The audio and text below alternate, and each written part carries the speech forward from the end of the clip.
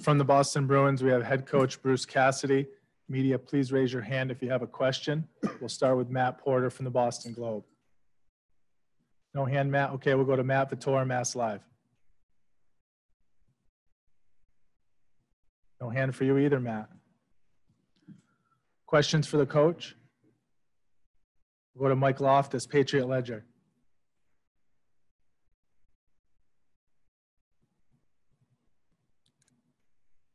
Go ahead, Mike. Kevin DuPont, Boston Globe. Butch, I know, I know you can't share much in terms of the nature of Pasta's injury, but can you give us an idea whether it was close and, and if you think this is going to be a long time? Uh, Kevin, um, first off, I'd like to start by um, wishing Claude, you know, Julien a, a, healthy and speedy recovery. I know he, he was in hospital overnight. I don't have a lot of details, but on behalf of the coaching staff, uh, players, and the whole Bruins organization, we're, we're wishing him uh, like I said, a healthy recovery. And our best goes out to Karen and the kids. Um, as for Pasta, um, he was um, uh, questionable uh, from the game yesterday afternoon, um, this morning, and he was getting treatment, um, unfit to participate. Uh, we don't believe it'll be long term, Kevin. That's a day to day thing, uh, we hope. Uh, so, obviously, targeting uh, Saturday at noon. Um, but until we see him tomorrow, and a tough Saturday noon because um, it's tough to test it, you know, um, get out skating in a morning skate type of thing. So um, it'll probably be right down to the game time again on Saturday. Fluto Shinzawa from The Athletic. Bruce, Carolina had some extended pressure in your zone. What do you think your players could have done better to relieve that pressure? Well, we were both goals. We had the puck uh, or the last goal sequence a couple times there. Even the, uh, goalie interference. You know, young winger had the puck, uh, flipped it. You know, you, you got to you, you got to punt on those situations. Fluto and live to fight another day. Puck's got to clear the zone when you're running around. Um, you know, I think Jake had the other one, and then you know they didn't sort out with Kretsch and Cash, and ends up in the back of our net. So those you know those pucks you got to find a way to to live to fight another day. Um, you know, because that's a pretty good opportunity. Tough one for Tuukka, like that plunger play. Uh, Dougie shoots the puck pretty well. So I think that's just uh, what happened in those breakdowns. Um, and then the Svechnikov goal, we it was a goalie rim. You know, they did a good job in the forecheck all night, and we um, we didn't return to our spots, and they hit a seam in our in our coverage, which we were really good at. Uh, game one didn't allow a lot of those opportunities.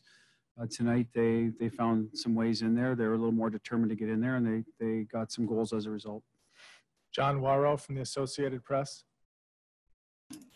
Uh, yeah, Bruce. Uh, just you're you're probably expecting some pushback after you know from the Hurricanes after what happened in Game One. How do you see the the effort, and how does this series match up now that you've seen them, you know, play a better game? Yeah, I mean, most teams that uh, don't feel they gave their best in a in a game in the playoffs usually bounce back the next night. That's why they're good teams. That's why they're in the playoffs. So we certainly expected that. We expected a heavier forecheck. We got it. Uh, handled it well at times. Other times we didn't. Um, but at the end of the day, I thought our start was fine. I defended pretty well. Uh, fixed some of our power play problems. Um, but unfortunately, like I said, the five on five sorting out and second chance, return to your spots, be hard on a puck to get it clear. And like I said, you know, get, get the next group over there and sort of reclaim the momentum. Uh, we weren't as good as we were opening night. Give them credit. Um, and, and obviously, you know, some things we need to do better uh, as well. Tara Sullivan from the Boston Globe.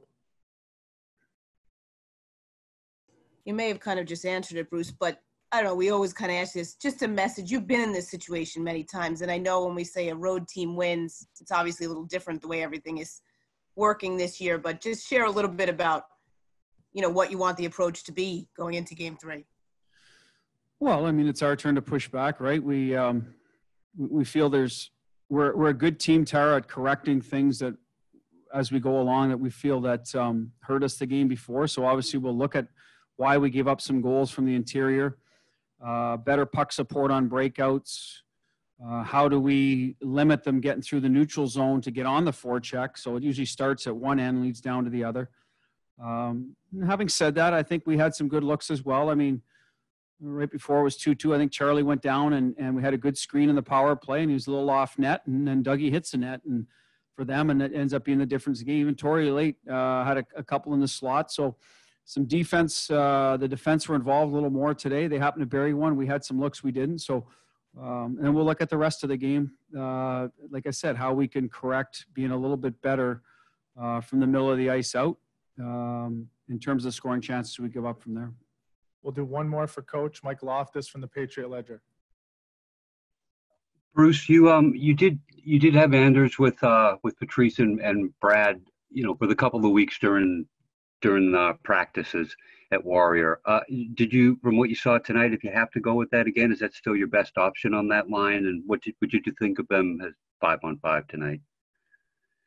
Well, you know, it started well for Anders. I mean, he he um, found himself all alone in the slot like the other night. Um, those are two grade A chances back to back nights. When you're talking about a first line player, typically uh, you're going to force the goalie to make a real good save. So that's where we want Anders to grow in those opportunities. Um, he's been working hard on his shot, and, and I'm sure he'd like to have it back. Uh, having said that, he hit the net. Uh, Reimer made a good save.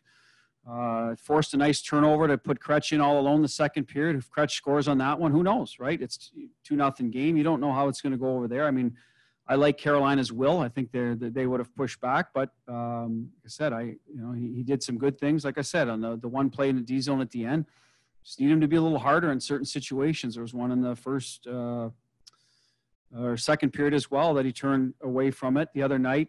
The first goal uh, got on the wrong side of it. So these are some little things that just every play matters in the playoffs, and there's some growth for him. It's his second playoff game, so s- some really good stuff and some stuff to learn from. So we're okay with that. Uh, but Mike, I don't know what the be- the best fit is because Kase was played really well with uh, Krejci and DeBrusk, so we didn't want to mess with that. So then it becomes Wagner. Does it become Kuhlman?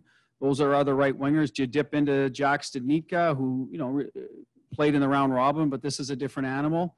Do you move Charlie Coyle up and and uh, put a center in the lineup like Lindholm? Those, are all the things we we um, went through, uh, Mike, to to look at the options. We decided we'll go with Cooley. He played for us last year in the playoffs and just bump Anders up. I thought it had its moments, and other times, uh, like I said, it could have been better. So, um, but you don't replace Pasta.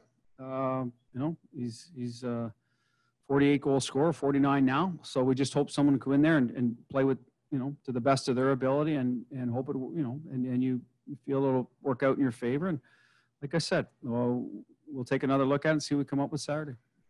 Coach, thank you for your time. All right, thank you.